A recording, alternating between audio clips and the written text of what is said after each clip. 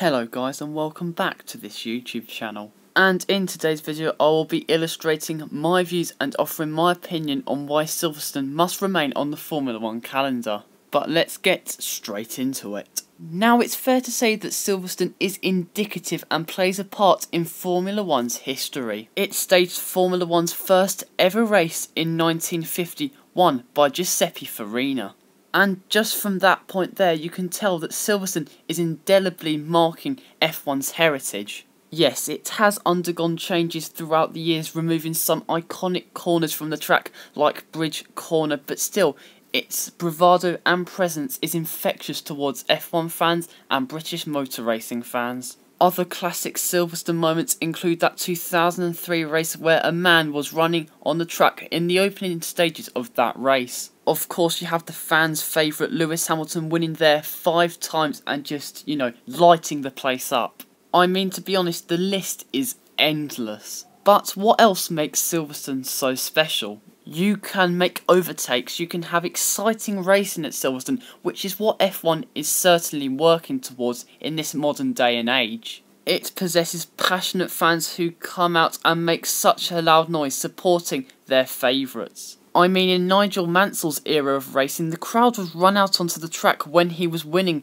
at Silverstone. It was just mental to witness. And of course, you have Brand Hamilton spiralling, the five time world champion, and everyone at that event just wants to get involved with Hamilton because he's just such an iconic figure to Silverstone and F1, which really keeps the British Grand Prix alive. But of course, in the past few years, there have been talks about Silverstone being dropped from the F1 calendar. For me, this is an unfathomable decision which could turn into a re reality. But if Silverstone was to be dropped from the calendar, what would the alternative options be to host the British Grand Prix and carry on its relentless heritage? Well, first off, I have Brands Hatch, and any 70s or 80s F1 fan will know a lot about this circuit it had an era of hosting both the British and European Grand Prix, so it isn't a stranger to the F1 circus. And the track has maintained its map, it's just still the old Brands Hatch we know and love.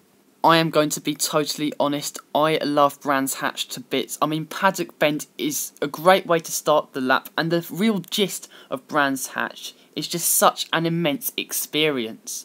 Yes, it also contains some real passionate fans who just travel around being inspired by their favourite drivers. However, I believe there are two issues with F1 going to Brands Hatch again. Firstly, I believe the safety rating of Brands Hatch will be on edge. It is very hilly and to me can be very, very dangerous. And I know motor racing is a dangerous sport, but I just think Brands Hatch would need slightly re-innovating to have a status to be returning to F1. And as well as that, I believe overtaking possibilities will be cut. Dirty air in this modern day and age of F1 will just be dominating the races and for me just won't be that good to watch. However, another option would be Donington Park. Of course, it has only hosted one F1 race, that being the 1993 European Grand Prix, and just playing host to one of Ayrton Senna's greatest drives in the wet. And again, I love Donington. I think it is a very, very good track, but the amount of overtaking possibilities I think are going to be minimal. Not just with the number of corners, but just how narrow Donington actually is. F1 cars nowadays are just so wide. And again, Donington would need redesigning to play host to another F1 Grand Prix. And for my last option, I have a London Grand Prix.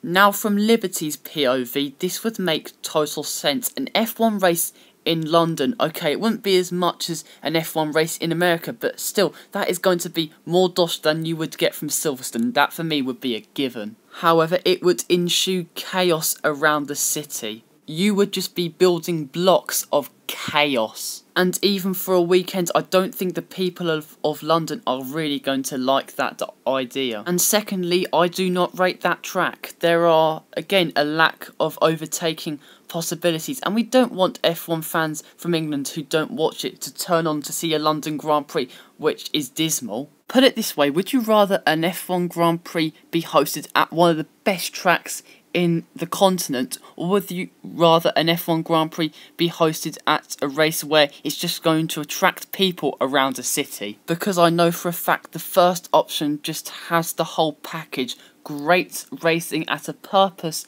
built track and it, I think it's a much superior for the sports of F1. But at the end of the day, the people at fault for this calamity, if you will, for this era of F1, for me, it's got to be the owners of Silverstone for really reaching out for that dodgy deal. A deal which could lead Silverstone's future reputation to be in tatters.